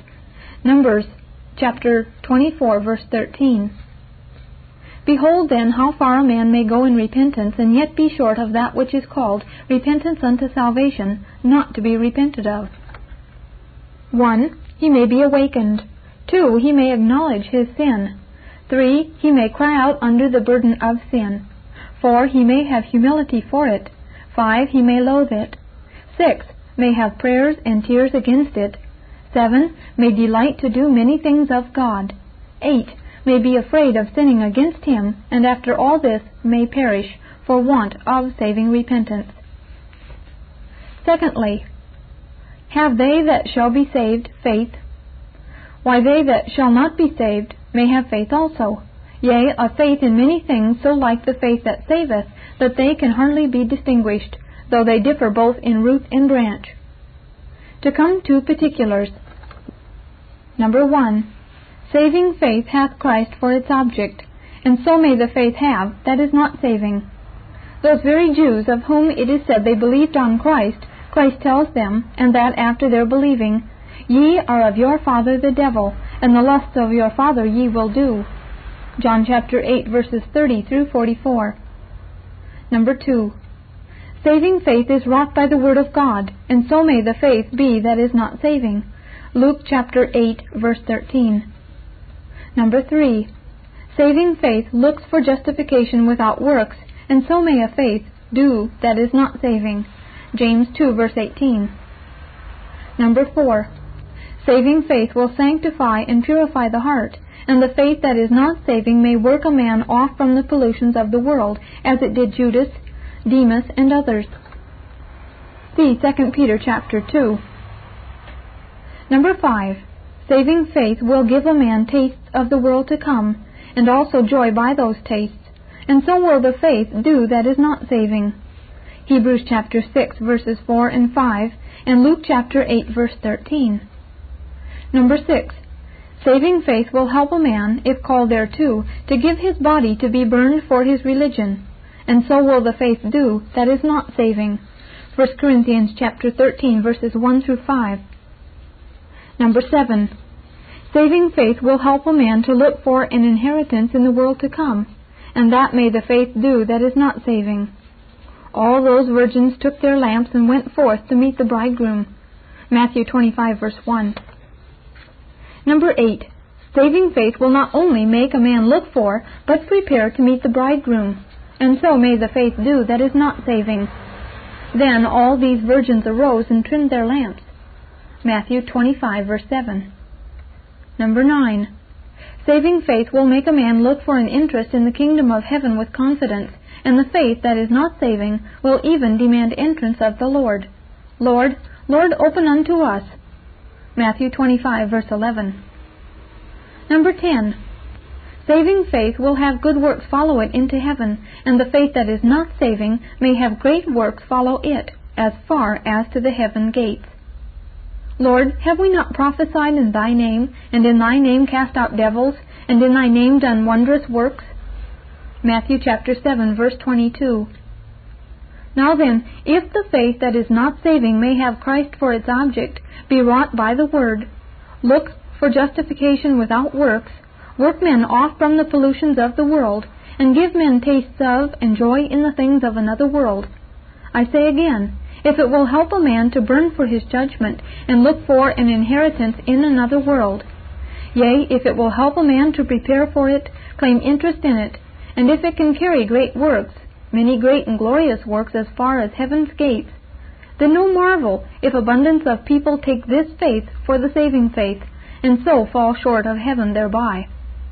Alas, friends, there are but few that can produce such for repentance, and such faith as yet you see, I have proved even reprobates have had in several ages of the church. But, thirdly, they that go to heaven are a praying people, but a man may pray that shall not be saved. Pray? He may pray, pray daily. Yea, he may ask of God the ordinances of justice, and may take delight in approaching to God. Nay, further, such souls may, as it were, cover the altar of the Lord with tears, with weeping and crying out. Isaiah chapter 28 verse 2 and Malachi chapter 12 verse 13. Fourthly, do God's people keep holy fasts? They that are not his people may keep fasts also, may keep fasts often, even twice a week. The Pharisee stood and prayed thus with himself, God, I thank thee that I am not as other men are, extortioners, unjust, adulterers, or even as this publican. I fast twice a week. I give tithes of all that I possess. Luke chapter 16, verses 11 and 12. I might enlarge upon things, but I intend but a little book.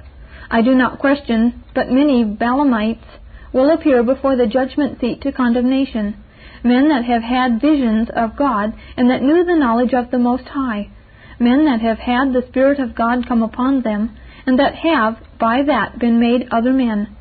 Yet these shall go to the generations of their fathers, they shall never see light.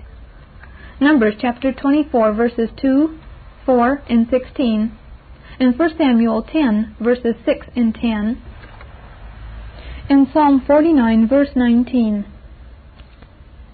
I read of some men whose excellency in religion mounts up to the heavens, and their heads reach unto the clouds, who yet shall perish for ever like their very refuse. And he that in this world hath seen them shall say at the judgment, Where are they? Job 20, verses 5 through 7. There will be many a one that were gallant professors in this world be wanting among the saved in the day of Christ's coming yea, many whose damnation was never dreamed of. Which of the twelve ever thought that Judas would have proved a devil? Nay, when Christ suggested that one among them was not, they each were more afraid of themselves than of him. Matthew 26, verses 21 through 23. Who questioned the salvation of the foolish virgins? The wise ones did not. They gave them the privilege of communion with themselves. Matthew 25. The discerning of the heart and the infallible proof of the truth of saving grace is reserved to the judgment of Jesus Christ at his coming. The church and best of saints sometimes hit and sometimes miss in their judgments about this matter.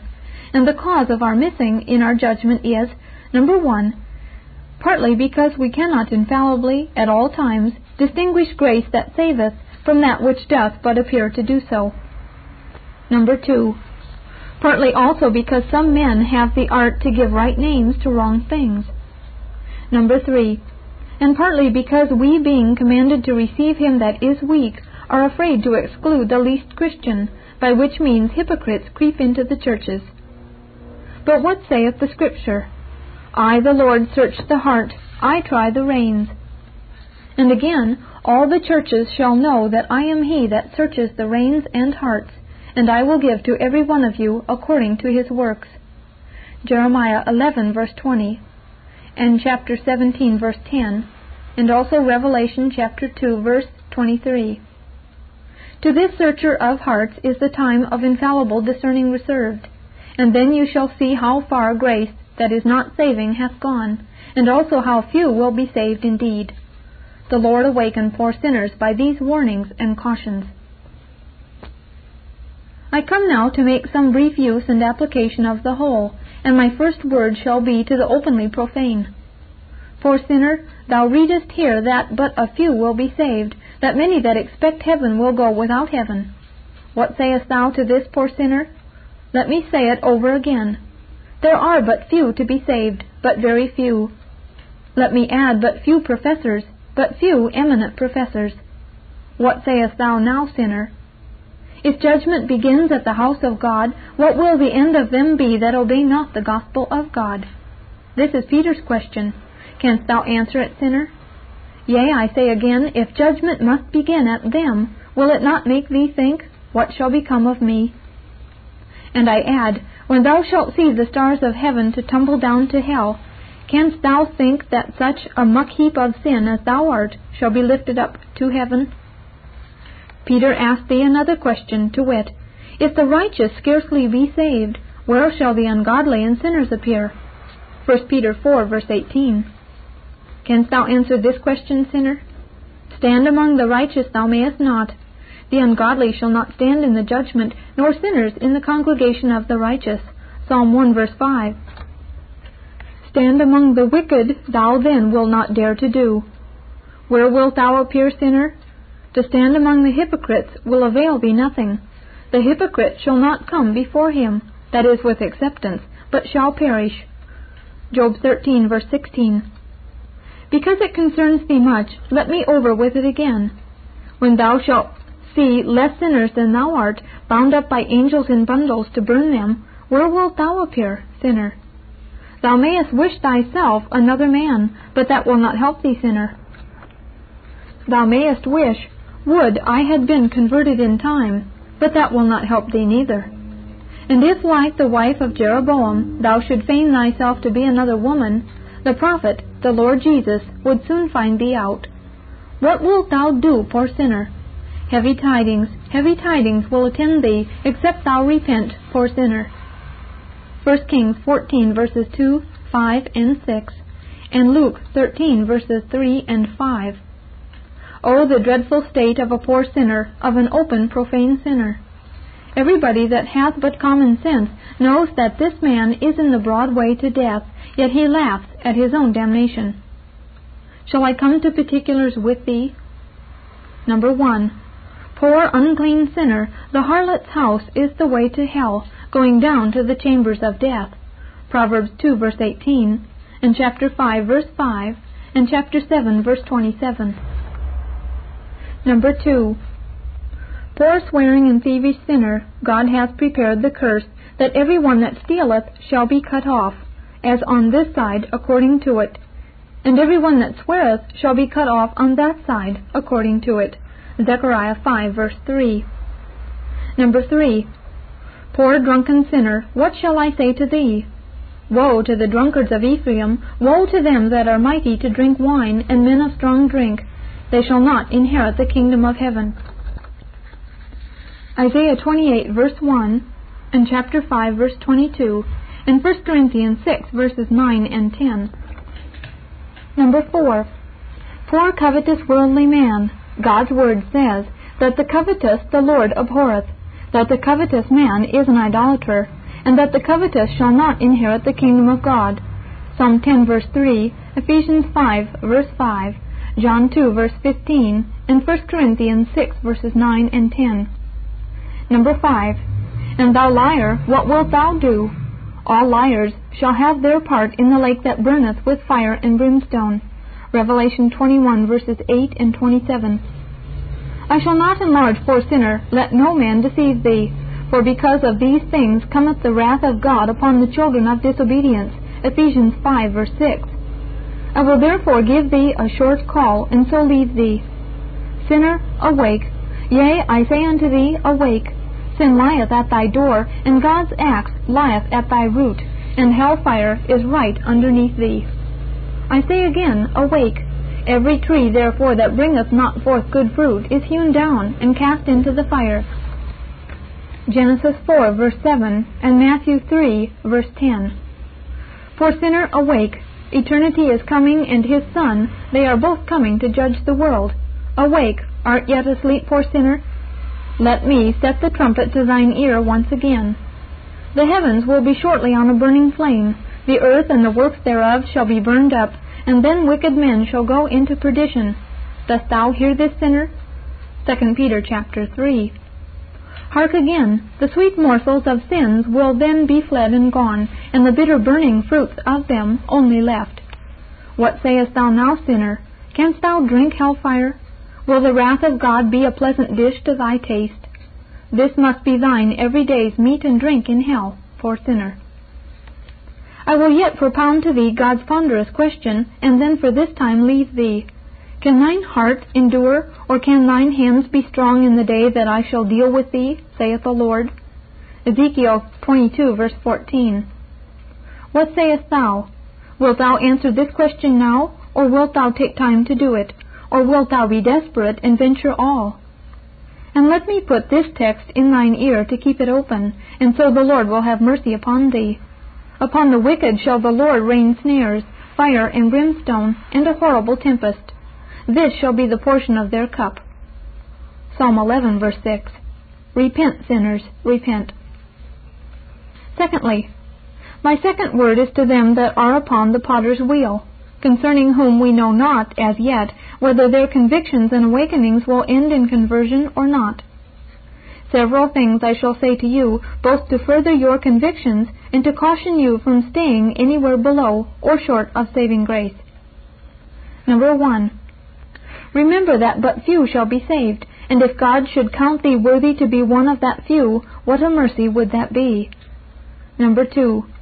Be thankful, therefore, for convictions, Conversion begins at conviction, though all conviction does not end in conversion. It is a great mercy to be convinced that we are sinners and that we need a Savior. Count it therefore a mercy, and that thy convictions may end in conversion. Do thou, number one, take heed of stifling them. It is the way of poor sinners to look upon convictions as things that are hurtful, and therefore they use to shun the awakening ministry and to check a convincing conscience. Such poor sinners are much like to the wanton boy that stands at the maid's elbow to blow out her candle as fast as she lights it at the fire. Convinced sinner, God lighteth thy candle, and thou puttest it out. God lights it again, and thou puttest it out. Yea, how oft is the candle of the wicked put out? Job 21, verse 17. At last God resolveth he will light thy candle no more, and then, like the Egyptians, you will dwell all your days in darkness, and never see light more, but by the light of hellfire. Wherefore give glory to God, and if he awakens thy conscience, quench not thy convictions. Do it, saith the prophet, because he caused darkness, and before your feet stumble upon the dark mountains, and he turn your convictions into the shadow of death, and make them gross darkness. Jeremiah 13, verse 16. Number one, be willing to see the worst of thy condition. It is better to see it here than in hell, for thou must see thy misery here or there. Number two, beware of little sins. They will make way for great ones, and they again will make way for bigger, upon which God's wrath will follow. And then may thy latter end be worse than thy beginning. 2 Peter 2 verse 20. Number three, Take heed of bad company and evil communication, for they will corrupt good manners.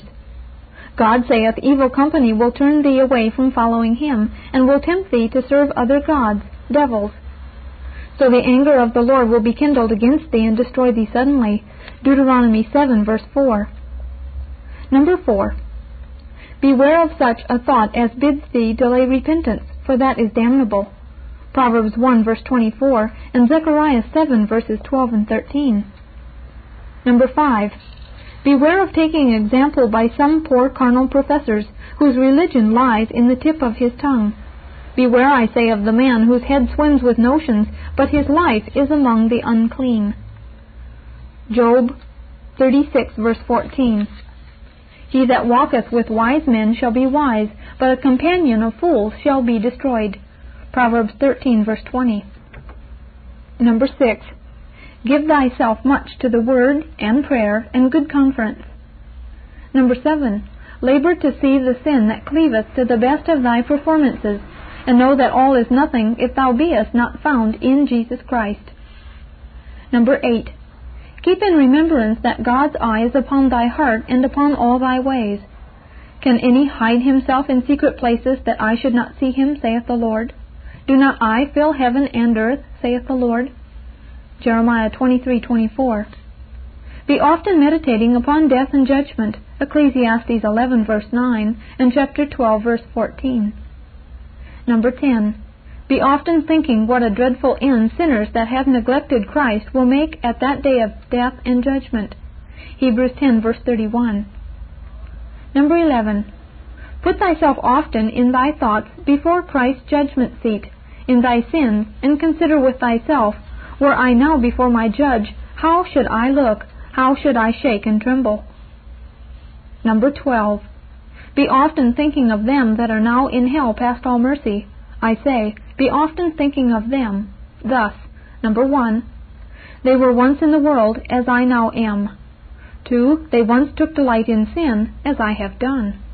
3. They once neglected repentance as Satan would have me do. 4. But now they are gone, now they are all in hell, now the pit hath shut her mouth upon them. Thou mayest also double thy thoughts of the damned thus. Number one, if these poor creatures were in the world again, would they sin as they did before? Would they neglect salvation as they did before? Number two, if they had sermons as I have, if they had the Bible as I have, if they had good company as I have, Yea, if they had a day of grace as I have, would they neglect it as they did before? Sinner, couldst thou soberly think of these things, they might help to awaken thee, and to keep thee awake to repentance, to the repentance that is to salvation, never to be repented of. Objection. But you have said, Few shall be saved, and some that go a great way, yet are not saved. At this, therefore, I am even discouraged and disheartened. I think I had as good go no further. I am indeed under conviction, but I may perish, and if I go on in my sins, I can but perish. And it is ten, twenty, and hundred to one if I be saved, should I be never so earnest for heaven. Answer. That few will be saved must needs be a truth, for Christ hath said it. That many go far and come short of heaven is as true, being testified by the same hand. But what then? Why then had I as good never seek? Who told thee so? Must nobody seek because few are saved? This is just contrary to the text, that bids us therefore strive. Strive to enter in because the gate is strait, and because many will seek to enter in, and shall not be able. But why go back again, seeing that is the nearest way to hell? Never go over hedge and ditch to hell. If I must needs go thither, I will go the farthest way about. But who can tell, though there should not be saved so many as there shall, but thou mayest be but one of the few. They that miss of life perish, because they will not let go of their sins, or because they take up a profession short of the saving faith of the gospel. They perish, I say, because they are content with such things as will not prove graces of a saving nature when they come to be tried in the fire. Otherwise the promise is free and full and everlasting. Him that cometh to me, says Christ, I will in no wise cast out. For God so loved the world that he gave his only begotten Son, that whosoever believeth in him might not perish, but have everlasting life. John chapter 6, verse 37. Wherefore let not this thought, few shall be saved, weaken thy heart, but let it cause thee to mend thy pace, to mend thy cries, to look well to thy grounds for heaven. Let it make thee fly faster from sin to Christ. Let it keep thee awake and out of carnal security, and thou mayest be saved. Thirdly, my third word is to professors. Sirs, give me leave to set my trumpet to your ears again a little when every man hath put in all the claim they can for heaven, but few will have it for their inheritance. I mean, but few professors, for so the text intends, and so I have also proved. For many, I say unto you, will seek to enter in, and shall not be able. Let me therefore a little expostulate the matter with you, O ye thousands of professors. Number one. I begin with you whose religion lieth only in your tongues. I mean you who are little or nothing known from the rest of the rabble of the world, only you can talk better than they. Hear me a word or two. If I speak with the tongue of men and angels and have not charity, that is, love to God and Christ and saints and holiness, I am nothing, no child of God, and so have nothing to do with heaven. 1 Corinthians chapter 13. A prating tongue will not unlock the gates of heaven, nor blind the eyes of thy judge. Look to it, the wise in heart will receive commandments, but a prating fool shall fall. Proverbs 10 verse 8. Number 2. Covetous professors, thou that makest a gain of religion, thou usest thy profession to bring grist to thy mill, look to it also. Gain is not godliness. Judas's religion lay much in the bag, but his soul is now burning in hell. All covetousness is idolatry. But what is that, or what will you call it, when men are religious for filthy lucre's sake? Ezekiel 33 verse 31. Number 3. Wanton professors, I have a word for you. I mean you that can tell how to misplead Scripture to maintain your pride, your banqueting, and abominable idolatry. Read what Peter says. You are the snare and damnation of others. You allure through the lust of the flesh, through much wantonness, those that were clean escaped from them who live in error. 2 Peter 2, verse 18. Besides, the Holy Ghost hath a great deal against you for your feastings and eating without fear, not for health, but gluttony. Jude, verse 12. Farther, Peter says, that you that count it pleasure to riot in the daytime are spots and blemishes, sporting yourselves with your own deceivings. 2 Peter 2, verse 14. And let me ask, did God give his word to justify your wickedness, or doth grace teach you to plead for the flesh, or the making provision of the lust thereof. Of these also are they that feed their bodies to strengthen their lusts, under pretense of strengthening frail nature. But pray remember the text, Many, I say unto you, will seek to enter in, and shall not be able. Number four. I come next to the opinionist. I mean to him whose religion lieth in some circumstantials of religion. With this sort this kingdom swarms at this day, these think all out of the way that are not of their mode, when themselves may be out of the way in the midst of their zeal for their opinions. Pray, do you also observe the text? Many, I say unto you, seek to enter in, and shall not be able. Number five. Neither is the formalist exempted from this number. He is a man that hath lost all but the shell of religion. He is hot indeed for his form, and no marvel, for that is his all to contend for. But his form being without the power and spirit of godliness, it will leave him in his sins. Nay, he standeth now in them in the sight of God. 2 Timothy 3 verse 5, and is one of the many that will seek to enter in, and shall not be able. Number 6. The legalist comes next, even him that hath no life, but what he makes out of his duties. This man hath chosen to stand and fall by Moses, who is the condemner of the world. There is one that accuseth you, even Moses, in whom ye trust. John 5:45. Number 7. There is in the next place the libertine, he that pretends to be against forms and duties as things that gender to bondage, neglecting the order of God. This man pretends to pray always, but under that pretense prays not at all. He pretends to keep every day a Sabbath, but this pretense serves him only to cast off all set times for the worship of God. This is also one of the many that will seek to enter in, and shall not be able. Titus 1 verse 16. Number 8. There is the temporizing latitudinarian. He is a man that hath no God but his belly, nor any religion but that by which his belly is worshipped.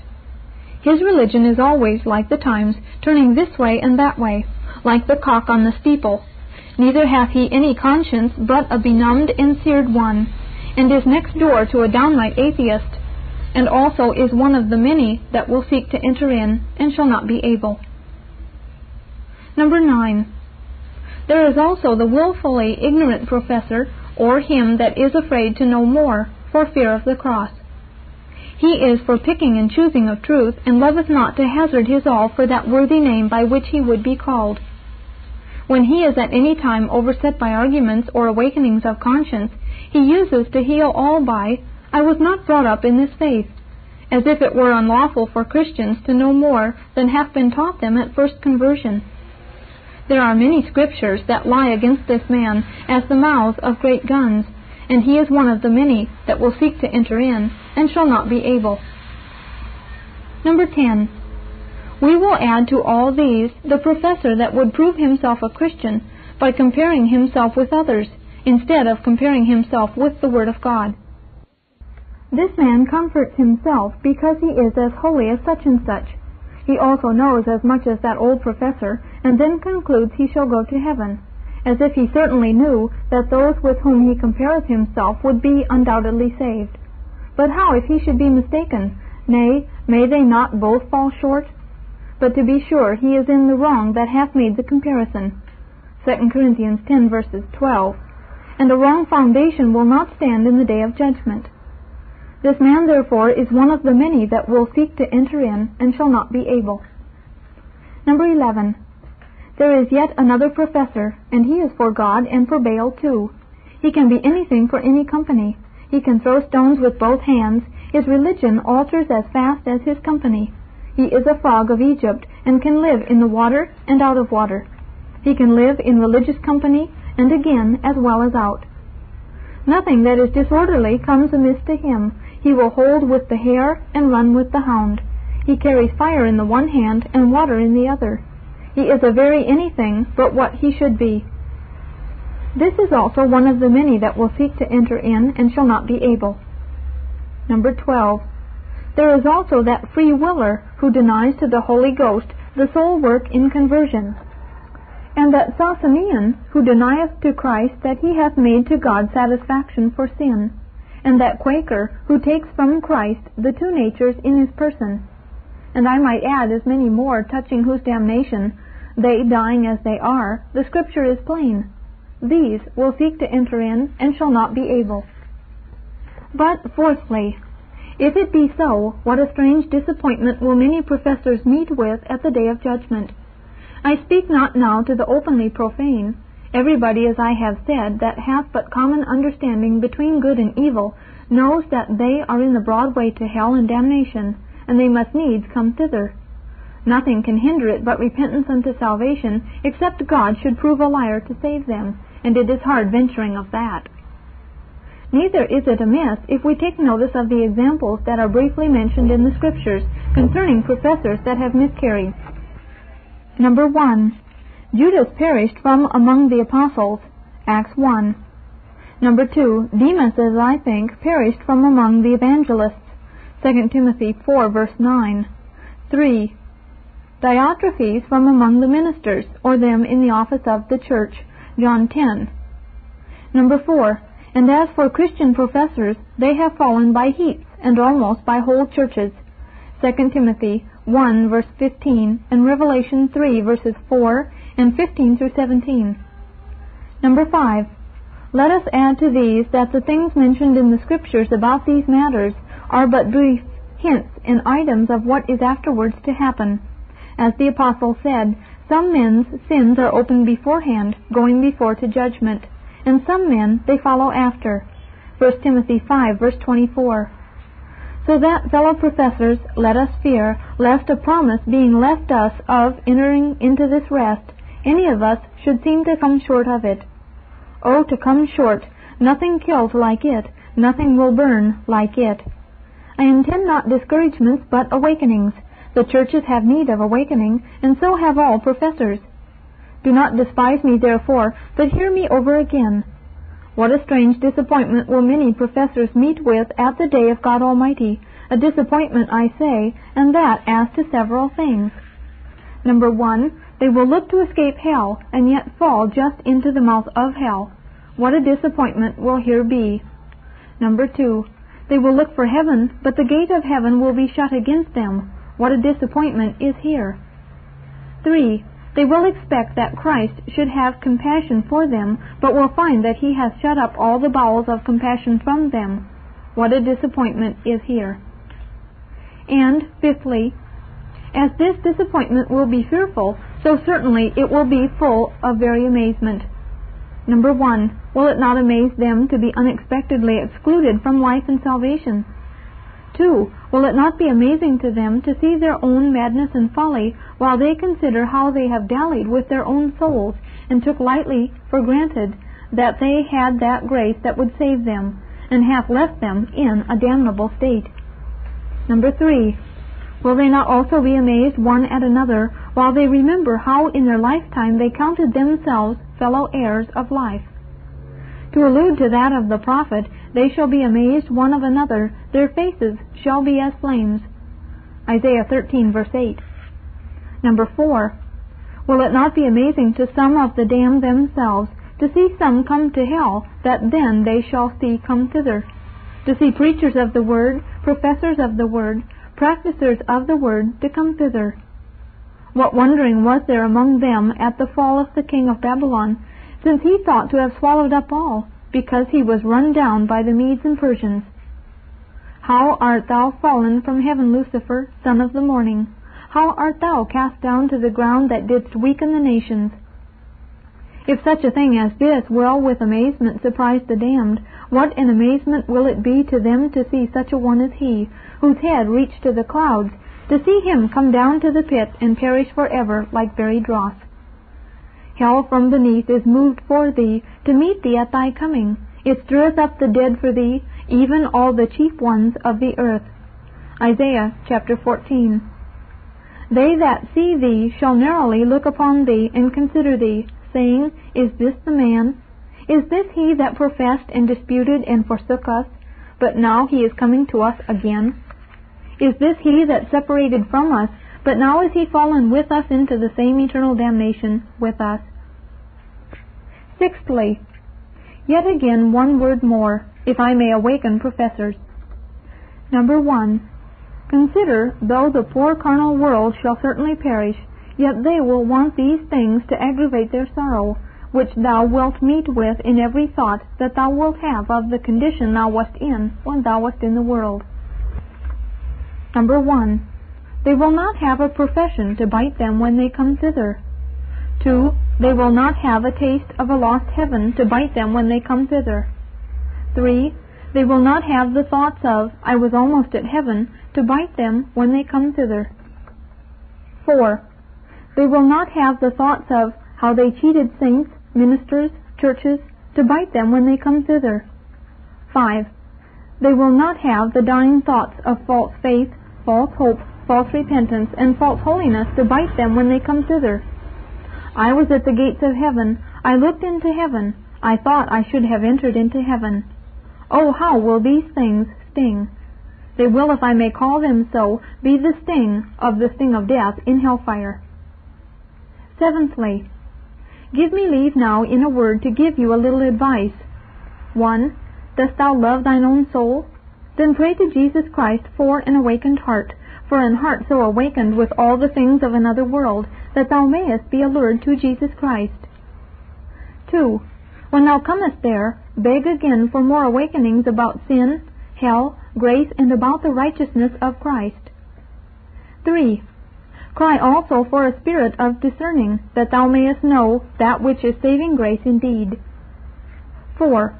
Above all studies, apply thyself to the study of those things that show thee the evil of sin, the shortness of man's life, and which is the way to be saved. 5. Keep company with the most godly among professors. 6. When thou hearest what the nature of true grace is, defer not to ask thine own heart if this grace be there. And here take heed, 1. That the preacher himself be sound and of good life. Two, that thou takest not seeming graces for real ones, nor seeming fruits for real fruits. Three, take heed that a sin in thy life goes not unrepented of, for that will make a flaw in thine evidence, a wound in thy conscience, and a breach in thy peace. And a hundred to one, if at last it doth not drive all the grace in thee into so dark a corner of thy heart, that thou shalt not be able for a time, by all the torches that are burning in the gospel, to find it out to thine own comfort and consolation.